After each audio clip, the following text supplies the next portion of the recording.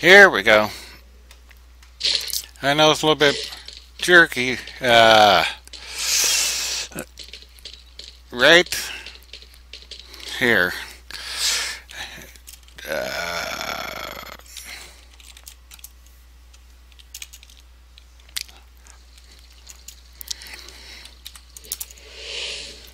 look at this. You can see this room. Now you see this. There's this hidden room. And I think that's where that entrance is. Now see what the exit is?